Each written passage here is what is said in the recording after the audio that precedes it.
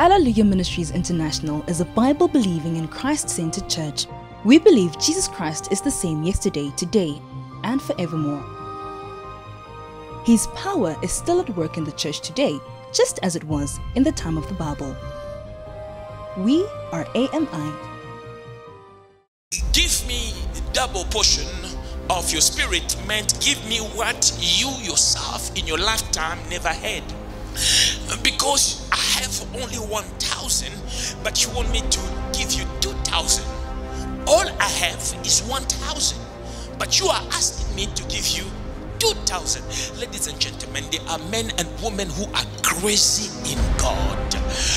One I like with faith is that uh, faith gives God no limit. God is absolute. God is supreme. God is sovereign. God cannot be stopped by time. He cannot be stopped by circumstances. God is big. God is great. There is nothing too hard for him to do. He asked for what Elijah did not have. Why? Because through asking that, he was not just looking at Elijah, he was looking at who gave Elijah what Elijah had. This is a presentation of Alleluia Ministries International. Lift your hand, Father. We thank you. We bless you. We bless your name because you're God. We bless your name because none is like you. From everlasting to everlasting, you are God. Before you, angels bow in adoration to who you are. So, as a people, we have come. We have come to adore you. We have come to elevate you. We have come to exalt you, oh God. And we have come with our heart open, our lives lay before you, that you may have your way through us. We pray. Bless us. Bless your word. In Jesus' name. Amen.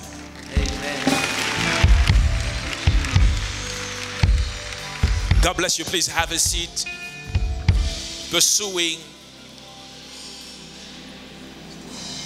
a higher anointing. Lift your hands, say, Lord, help me in this pursuit of a higher anointing. In Jesus' name. Second Kings 2 9 to 10. The Bible reads, And so it was when they had crossed over that Elijah said to Elisha, Ask what may I do for you before I am taken away from you? Elisha said, Please let a double portion of your spirit be upon me. So he said, You have asked a hard thing. Nevertheless, if you see me when I am taken from you, it shall be so for you. But if not, it shall not be so. The word of the Lord. A verse that we read countless time. Remarkable story that reveals how things happens as one pursues the anointing. Elijah, the prophet of fire, a servant of God in his time, who walked with the demonstration of the Holy Ghost and power. Elijah, the one used by God to bring to the end the reign of Baal and Asherah that uh, led confusion, led Israel into confusion in Israel. When in the Mount Carmel, he called on fire and fire came down. A man of great insight, a man of great power, dedicated in prayer. We see him on the mountaintop praying with uh, his head between his legs. A man who knew God and walked with God. He had a servant, a disciple, a trainee, a young man called Elisha. All this young man wanted was to be like his spiritual father. The Bible says a son does only what he sees his father do. Elisha's desire was that God may use him like a spiritual father. I can picture this young man seeing with a, a great admiration how God's hand moved through his spiritual father, how God demonstrated great grace and glory through this man of God. So he had developed that desire to become one like a spiritual father and even more. And in the story, the Bible says God had revealed not only to Elijah, but also to the prophet of the time, the sons of the prophet, that it was time for Elijah to be taken to heaven. He didn't die a common death. God decided to take him. And ladies and gentlemen, this is not a myth. I know that today, in the platforms of those of us today, intellectuals, a story of a man who has been taken to heaven seems somehow uh, too mythic to be acceptable. But this is the word of God. This man did not die a natural death, he was taken, he was raptured. And as the news was already in the spirit of many who were aligned with God, the Lord spoke to Elijah, I believe, to address something in the heart of his spiritual son. He said, Ask what I may do for you. Everywhere I went, you were with me. You did not leave me a day. So now it is time for you to be rewarded. May I stretch my hand and pray for a season of reward. That God in this season may reward you for every labor you have labored, for every seed you have sown, for every work you have worked. May you enter into a season of reward. May it be so in the name of Jesus. Uh, kindly have a seat. So he asked him, What do you want me to do for you? And the Bible says, Elisha said, Please let me have double portion of your spirit. Some versions say, let double portion of your spirit come upon me.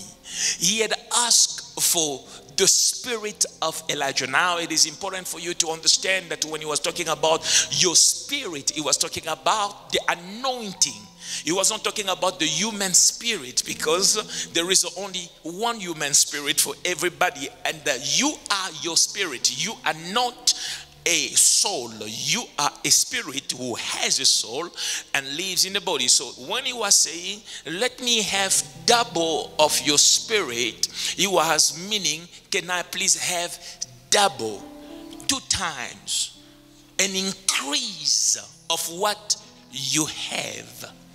Now, if you open your eyes and begin to analyze this slowly, you'll begin to understand that this young man was too ambitious. His ambition in God was not wicked. It was through the high level of his faith and trust that God cannot be stopped and God has no limit that he asked according to many, with a little exaggeration. Now, I want to push you a little bit. I know you have been asking God to give you money to pay your rent, but I'm going to push you a little bit. Why not ask God for the house? If God is able to provide for your rent money, He is able to provide for you to be an owner. Now, in the wings of the prophetic right now, may I declare over somebody that as your Father in heaven is a landlord, you will no longer be a tenant in the name of Jesus. Uh, I say, as your Father in heaven is a landlord, you will no longer be a tenant in the name of Jesus. Uh, uh, please, I have a seat. I, I, don't want us to move away from what God is uh, saying right now. He asked for something very ambitious. Give me double portion of your spirit meant give me what you yourself in your lifetime never had. Because I have only 1,000, but you want me to give you 2,000. All I have is 1,000 But you are asking me to give you 2,000. Ladies and gentlemen, there are men and women who are crazy in God. What I like with faith is that uh, faith gives God no limit, God is absolute. God is supreme. God is sovereign. God cannot be stopped by time. He cannot be stopped by circumstances. God is big. God is great. There is nothing too hard for him to do. He asked for what Elijah did not have. Why? Because through asking that, he was not just looking at Elijah, he was looking at who gave Elijah what Elijah had. And he had believed in his heart that if this God is able to give this much to his servant, surely he can give me an increase. You are about to go where your father has never been. You're about to go where your mother has never been. You're about to do what nobody in your family ever did. There is a pioneering anointing that will flow in this place. An anointing for the first time. The anointing for the first. You you will be the first time, the first one to do what you will do. I'm prophesying right now. I am declaring it what now You'll be the first to own so many cars in your family. Uh, You'll be the first one to have 1,000 employees in your company. You'll be the first one in parliament in your family. You'll be the first one breaking through in your family. Uh, you will develop your father's house. You'll build a house for your parent, for your grandparent. You will do what the world has never seen before. There is a pioneering anointing that is befalling somebody under the sound of my voice. If it is you I'm talking to, may you make a loud shout of praise unto God.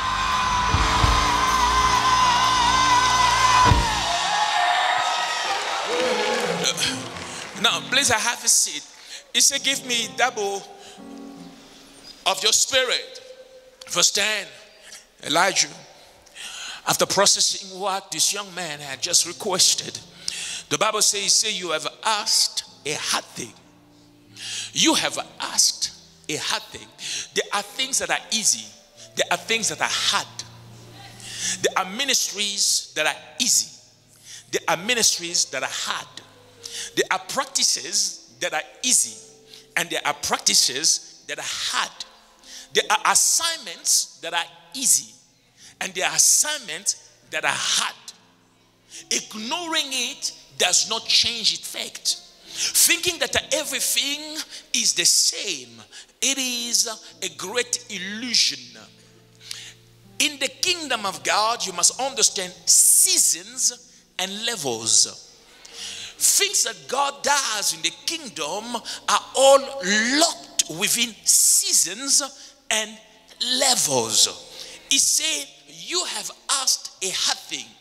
It might be that yesterday his request was not this hard. But now, what you are asking, you are asking something hard. You are asking what I don't have. You are asking what probably I had desired to have, but I did not operate in. You are asking to do for God what nobody in your town ever did for Him before. You are asking a hard things. It is normal to ask a car that the bank may pay for it and you pay them bit by bit. But now you're not asking for a car, you are asking to own the showroom. Makotomo Yebaba Sete. You are asking to own a garage. You are asking not just to have a flat in a certain estate. You are asking to be the main shareholder in that real estate company. You are asking a hard thing. I don't know who I'm speaking to, but there is somebody here whose faith is great and that you are about to ask us something great. There There is a generation locked in small things. Everything they fight for is small. Everything they live for is small. Everything they battle to have is small. They say, if you give me a roof over my head and bread on my table, I will be fulfilled. There is a generation who is satisfied by the minimum. They are masters of the minors, They major in minors. Everything that is small is indicative to them that God is there. Whenever this generation sees something big, they are intimidated. Uh, they feel it's too much, too good to be true. They are pushed in the corner. They want to hide in the den. This generation is a generation that runs away from God. They have reduced God to a small thing. When they talk and relate to their God, though they may sing big, but the relation this God revealed that the God in the mind and spirit is a small God. A small God who cannot even heal a common flu, unable to heal sicknesses such as cancer, uh, HIVs, and all kind of things. We, we, we relate to God in small. But this young man, Elisha, refused to be locked in small, Refuse to be intimidated by what is big. Say to God, asking his servant Elijah, give me double of the spirit that is in you. God sent me to lead his people to a higher anointing men of God, servant of God, woman of God, child of God, the Lord wants you to open up to bigger. There are bigger things that God has in store for you. I, I, I try to say this side. There, there, there are bigger things that God has in store for you. Let me come deeper and speak to somebody. There, there, there are bigger things that God has in store for you.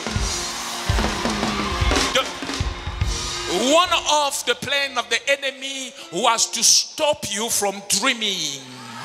The devil doesn't want you to dream again. The devil wants you to make peace with the fact that uh, this is your life and it will end here. But the devil is a liar. Who am I talking to? The devil is a liar. The Lord has given me an assignment today to lead his people to a better place, a greater place, a place of the overflow, a place of abundance where everything is very big. You will no longer be insignificant in your walk. No. You will no longer be unnoticed in your place. No. Everywhere you go, you will shine. I say, You will shine. Who am I talking to? Give Jesus Christ the craziest praise you have.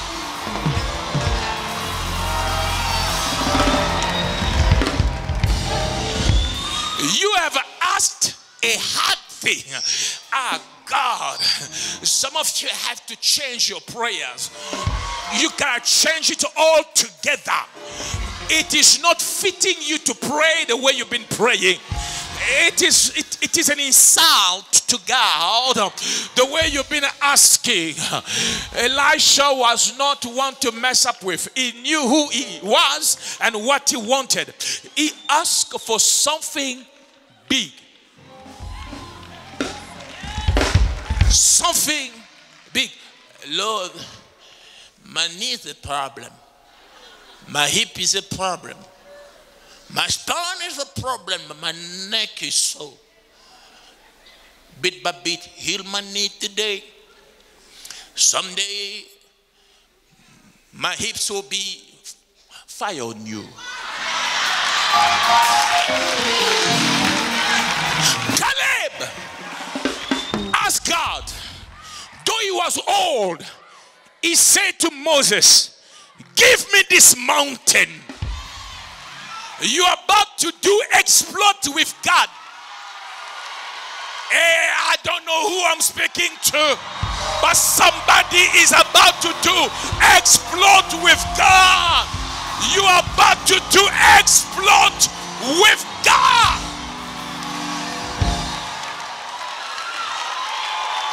The reason why you will not die is because your assignment is not over yet. I said the reason why you will not die now is because your assignment is not over yet. You are about to pull heaven down. You are about to pull heaven down. Through you, the world will know that there is a God in heaven, and He is the same yesterday, today, and forever.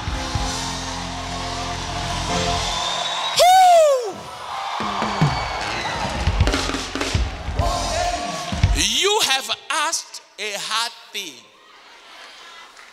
Every prayer request that you have presented to God today, may the Lord serve, answer by fire, and may God bring the answer to manifestation instantly in the name of Jesus. So shall it be in the name of Jesus. Give somebody a prophetic high five and seal, seal it, seal it, seal it, seal it. Mhm.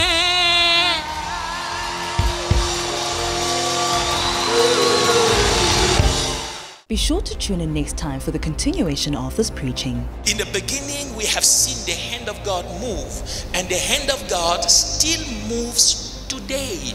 There are things that you have to do to tap into a great anointing. Uh, just like many great men of God around the world, you will hear people come to you and say, Please give me what you have. Well, because as human, you, you have feelings, and your feelings may uh, uh, cling to this one better than the other one. But even when your feelings will cling to this one, and you like the way he speaks, you like the way he serves you, and you say, Take it! Though he falls under the power, the assignment for him to have it manifest requires certain things. If you were blessed by this video, be sure to subscribe to our channel. You can catch Pastor Alph Lukau on AMI TV on the public bouquet or on our live stream on AMITV.com. You can follow Pastor Alph Lukau on all social media platforms at Alph Lukau.